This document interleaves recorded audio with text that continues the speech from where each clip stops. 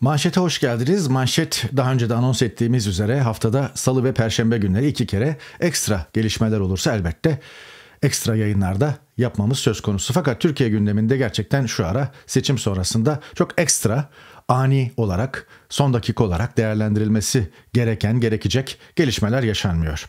Bizi ne bekliyor sorusuna cevap alacağız, e, cevap arayacağız bu programda. Ekonomik olarak elbette ki şu, an, şu anda bana göre açık ara bir numaralı gündem maddesi bu ekonomi.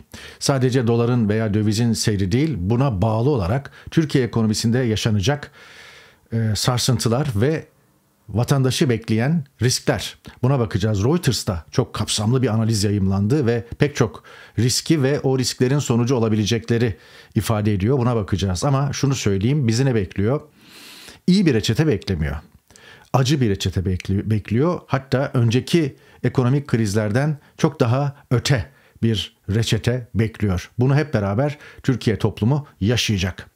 Bütün paydaşlar yaşayacak ama elbette e, suyun üstünde bir avuç zengin ya da malını yurt dışına kaçırmış bir biçimde tuzu kuru insanlar bundan etkilenmeyecekler. Ne olursa olsun fiyatlar nereye giderse gitsin bundan etkilenmeyecekler. Herhangi bir mal ve hizmete Türkiye'de erişim olmasa bile onlar o mal neredeyse gidip onu oradan temin edebilecek. Maalesef böyle bir dönem iyi şeyler söyleyemiyoruz. Siyasette ne bekliyor? Siyasette saatler yavaş yavaş seçimin enkazını kaldırmaya ve önümüzdeki yerel seçimlere hazırlanmaya doğru ayarlanıyor. Gerek iktidarda gerekse muhalefette böyle. Muhalefet iktidardan çok daha e, fena halde e, Türkiye Büyük Millet Meclisi neyse artık onun oradaki çalışmalara odaklanmış durumda. Birbirlerini ziyaret ediyorlar. Geçtiğimiz hafta rozetleri takıp e, yan yana fotoğraf e, çektirme faslı bittikten sonra şimdi işte efendim ne yapacağız? Yeni dönemde sesimiz daha güçlü çıkacak. Demokrasi güçlenecek. İşte efendim sizi anlıyoruz. Gelen talepleri anlıyoruz. Bütün bunların farkındayız ve sesiniz soluğunuz olacağız falan gibi açıklamalar geliyor bu açıklamalar gelmeye devam edecek. Yani e, tabii mahallede özellikle bu iktidarı değiştirmek için e, değiştirme uğruna gerçekten çok heyecanlanan mahallede büyük bir hayal kırıklığı yaşıyor ve bu hayal kırıklığı devam ediyor. Bu yönde yapılan açıklamalara yani muhalefetten yapılan açıklamalara da müstehzi ifadelerle karşılık veriliyor. Çok çok da fazla bir karşılığı yok yani. Fakat e, muhalefet partileri Artık bunu da tırnak içinde kullanmak lazım. Bildiğini okuyor. Benzer kadrolarla, isimler değişse bile benzer kadro ve politikalarla bunu sürdürecekleri ortada. Kapatırken inatımız güncellendi. Evet. Yeni sürüm inatı e, mutlaka bekleyin ve e, onsuz kapatmıyoruz biliyorsunuz. Şimdi e, Fatih Altaylı'ya konuşmuş. Daha doğrusu Fatih Altaylı içeriden kulis almış. Cumhuriyet Halk Partisi'nden kulis almış ve Seçim gecesi Kemal Kılıçdaroğlu çevresindekilere bunu söylemiş. Bu benim ilk ve son Cumhurbaşkanlığı adayımdı, adaylığımdı. Bir daha herhangi bir bu yönde pozisyona aday olmayacağım. Ne zaman yapılırsa yapılsın bir dahaki seçimde de aday değilim. Böyle bir niyetim, arzum yok demiş. Hatta kendisine yani yerel seçimlere doğru, yerel seçimleri de atlattıktan sonra çekileceğinizi açıklasınız, açıklasanız Cumhuriyet Halk Partisi Genel Başkanlığından falan gibi soru geldiğinde de bunu cevapsız bırakmış. Kılıçdaroğlu'nun ne yapacağı nereye kadar CHP Genel Başkanlığı'nı götüreceği, bunun yerel seçim süreciyle sınırlı olup olmayacağını bilmiyoruz.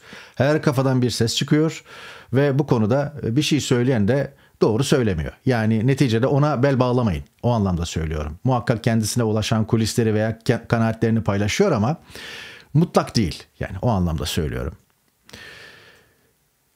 Kıvanç El Doçevele'de bir analiz paylaşmış. CHP'de değişim mesajı veren İmamoğlu'nda İbre artık adaylıktan yana. Öyle de görülüyor. Değişim mesajı e, Cumhuriyet Halk Partisi Genel Başkanlığı adayı. Fakat önceki adaylık çalışmalarını mutlaka yani Muharrem İnce aday olmuştu. Ondan önce e, yani Cumhuriyet Halk Partisi tarihi boyunca e, genel başkan adaylığı denemeleri olmuştu. Mustafa Sarıgül mesela denemişti olmamıştı.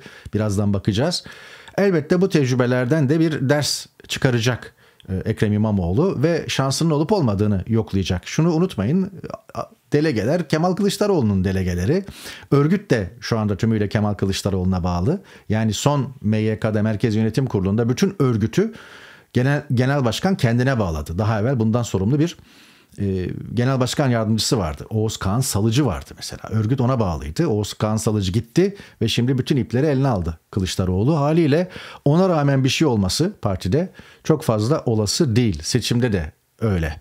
E, nitekim yandaş medyanın manşetlerini e, iç, iç sayfa manşetlerini süslüyor e, İmamoğlu. Değişim talep ediyorum. Kocaman böyle daha evvel İmamoğlu'nun hiçbir lafını kullanmayan gazeteler şimdi Cumhuriyet Halk Partisi'nde bir hareketlilik oldu ya bir e, tırnak içinde söylüyorum hizip çıktı ya. Dolayısıyla bunu destekleyen e, kapaklar manşetler atıyorlar ama en önemli çıkış şu son süreçte Mustafa Sarıgül'den geldi. Erzincan'dan daha evvel hiç milletvekili olmayan Erzincan'a gitti ve CHP'ye artı bir milletvekilliği kazandırdı. CHP'nin orada milletvekilliği yoktu. Ee, Mustafa Sarıgül aday olmasaydı gene olmayacaktı. Bu kadar net. Ee, Mustafa Sarıgül'ün bir Türkiye Değişim Hareketi var. Partiye dönüştü bu. Kimse de bilmez ismini. Yani Mustafa Sarıgül nevi şahsına münhasır bir insan. Bütün politik sürecini biliyorum. 1987'de ilk kez e, Türkiye Büyük Millet Meclisi'ne geçtiğinde, seçildiğinde milletvekili olduğunda SHP'den 1987 30 yaşlarındaydı ve o zaman en genç üye olması hasebiyle geçici başkanlık divanının da üyelerinden biriydi. Sonra Şişli Belediye Başkanı oldu. İstanbul Belediye Başkanı adaylığını denedi. Hatırlayalım 2014'te CHP'den Kadir Topbaş'a karşı kaybetti. 2009'da e, Kemal Kılıçdaroğlu Büyükşehir Belediyesi'ni denemişti. Olmamıştı. Hatırlayalım işte çizmeleri çekmişlerdi. Gürsel Tekin'le birlikte kampanya yapmışlardı. Onlar için yani genç nesil için bile bunlar tarih oldu. Yani Kılıçdaroğlu'nun İstanbul Büyükşehir Belediye Başkan adaylığı neredeyse 15 sene. Ee, Sarıgül'ün İstanbul Büyükşehir Belediye Başkanlığı adaylığı 10 sene.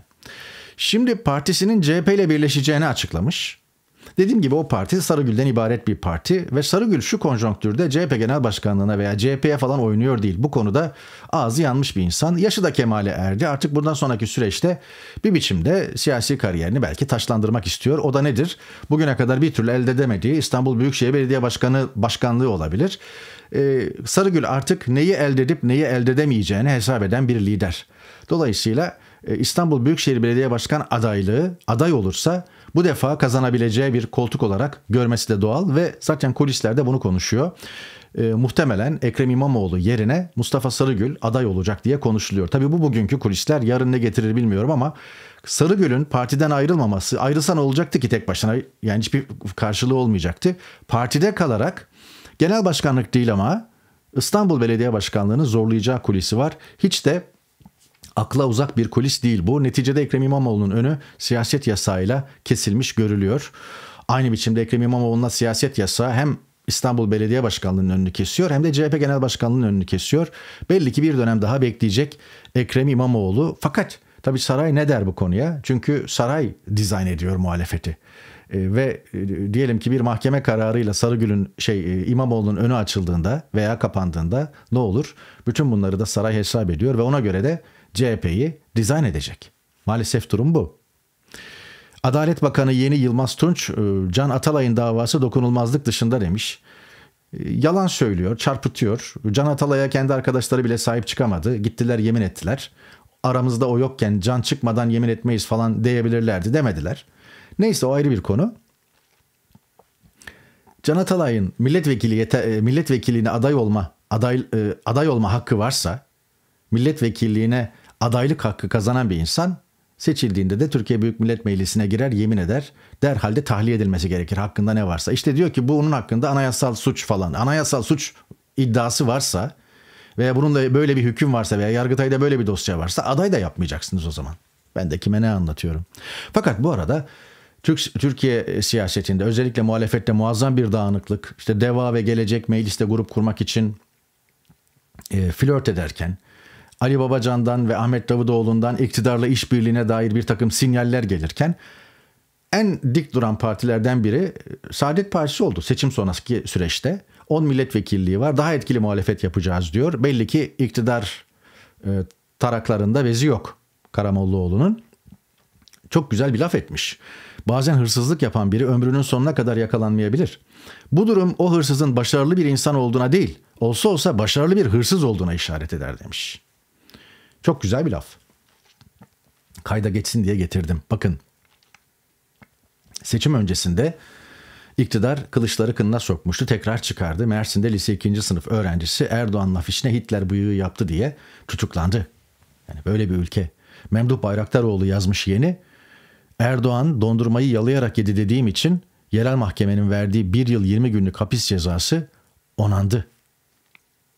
Yani Erdoğan da işte yeni kabinesiyle değişim sinyalleri veriyor. Gazete Pencere'de Bülent Çelik çok güzel çizmiş. Barış kabinesi başlığı altında öne birilerini sürüyor. Daha önceki analizimde paylaşmıştım sizinle tekrar etmeyeceğim. Erdoğan'ın her zaman yaptığı bir şeydir. Metal yorgunluğu, üç dönem kuralı falan diyerek vitrini yeniler. Ama perde arkasında her şeyi yapan kendidir. Şimdi de vitrini yenilemiş ama arkadaki irade kendi yani. Bunu böyle bileceksiniz ve kabul edeceksiniz. Bak çizilen son isim Süleyman Soylu. Önünde yemin metni var. Yemin etti sıradan bir AKP milletvekili olarak siyaset yapacak. Bunu, bunu Süleyman Soylu'nun içine sindirmesi mümkün mü? O kalibredeki birinin hayır değil zaten yüzünden düşen bin parça. Bakanlar yemin ederken kendisi de vekil olarak yemin ediyor. Adalet Partisi Genel Başkanı olarak tanıdığımız şu süreçte daha evvel ismini bile bilmiyordum. Doktor Vecdet Öz ekonomiyle ilgili mühim bir paylaşım yapmış. Demedi demeyin dolar kısa sürede 30 TL bandına oturacak. Enflasyon hayat pahalılığı Cumhuriyet tarihinin rekorunu kıracak. Önemli olan da bu zaten. İktidar kendi enkazının altında kalacak. Soylu MHP cephesi taarruza geçecek. AKP'nin içi karışacak. İşte bundan sonrası siyasi kehanete giriyor. İttifak diye bir şey kalmayacak ve yerel seçim öncesi kıyametler kopacak e, bu ittifaktan kasıt Cumhur İttifakı elbette Vecdet Öz'ün kastettiği. Muhalefet ittifakı diye de bir şey kalmadı. Onu da söyleyelim. En son işte Türkiye Büyük Millet Meclisi başkanlık seçimlerinde herkes kendi adayını çıkardı. Yani bir tek Demokrat Parti CHP'nin adayını destekleyeceğim dedi. Elvan Aktaş gene hayat pahalılığı ve Türkiye'yi bekleyen risklere dair önemli bir e, tweet paylaşmış. Öyle bir zam yağmuru ki diyor kuyrukta marul bekleyen yandaş ihtiyarlar bile görmedi böylesini. Hızla fakirleşeceksiniz. Çaya yüzde 43 zam gelmiş. Bir kilo Rize turist çayı bilinen en meşhur çaydır Çaykur'un. 97.81 iken 141.54 olmuş lira bazında. Apple'da ben bundan bir önceki yayında iki gün önce fiyatlarını güncelledi. İşte yeni fiyatlar şudur. E, Türkiye maliyesi Apple'dan daha fazla kazanıyor satılan her telefon başına diye anlatmıştım. Bir kere daha güncellemiş fiyatları. Yani dövizdeki artışa paralel olarak bir hafta içinde iki kere güncelleme belli ki her hafta güncelleyecekler fiyatı bu gidişte. Reuters'ta mühim bir analiz yayımlandı. Türkiye'deki de- değer kaybı Türkiye ekonomisine ne getirir ne götürür. Bir kere ne getireceği yok öyle bir şey. Götürecekleri var. Beş maddelik bir analiz e, yayımladı. Burada dikkat çekici e, noktalara temas ediyor. Bir, bu analizin birinci maddesi kur serbest e, kur serbest mi? Kuru serbest mi bırakmalı? E, mevcut döviz rezervlerinin e, TL'deki değer kaybının sürmesini gerektirecek e, bir sebep olduğunu öne sürüyor. Çünkü döviz rezervleri eriyor. Ondan dolayı TL'deki yani döviz rezervi kalmadığı için lira değer kaybetmeye devam edecek demiş. Gene JP Morgan ve Goldman Sachs gibi büyük yatırım bankalarının analistlerine göre ve onların fiyatlamalarına göre liranın dolar karşısında 30'a kadar yükselebileceği söylenmiş e, söyleniyor o analistlerin ifadesi. Büyük bir faiz artırımına gider mi? Merkez Bankası ve sermaye kontrolleri uygulamaya geçer mi? İşte bütün bunlar belirsizliğini koruyor.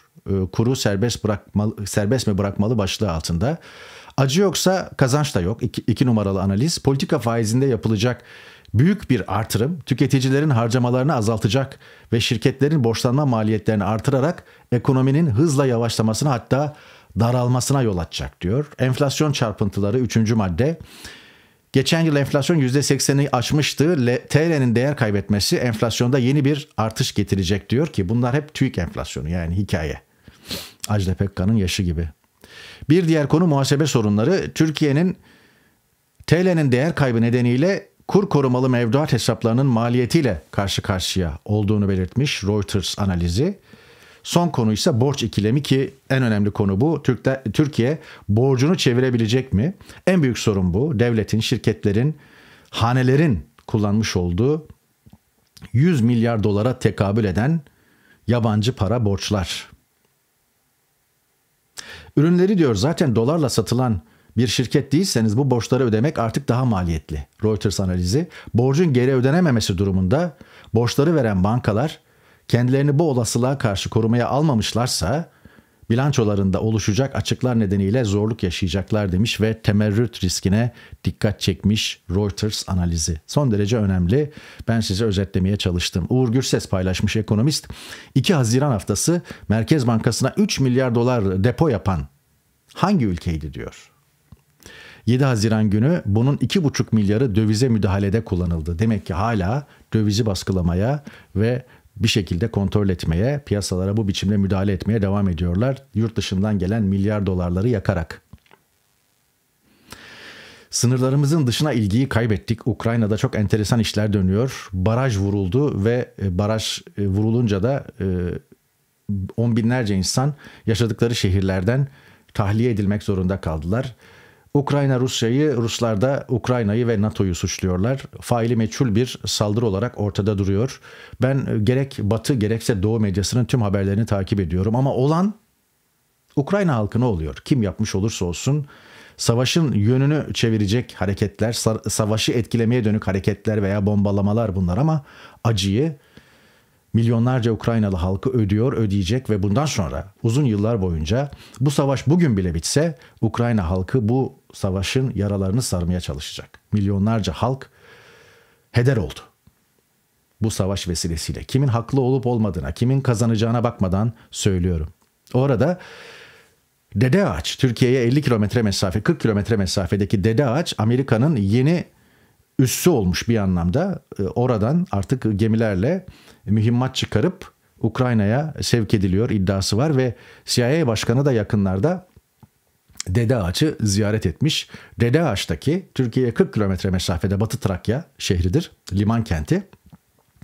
Dede Ağaç'ta ciddi bir Amerikan hareketliliği var. Artık çarşılar, pazarlar Amerikalı askerler tarafından e, işgal edilmiş durumda tabir yerindeyse. Bu dede ağaç ekonomisi için iyi olabilir ama savaşın seyri açısından Amerika'nın dede ağaçtan kendine bir yol bulması açısından Türkiye'yi de bypass ederek önemli bir gelişme. Muhtemelen Yunanistan'la arada bu konuda şey var.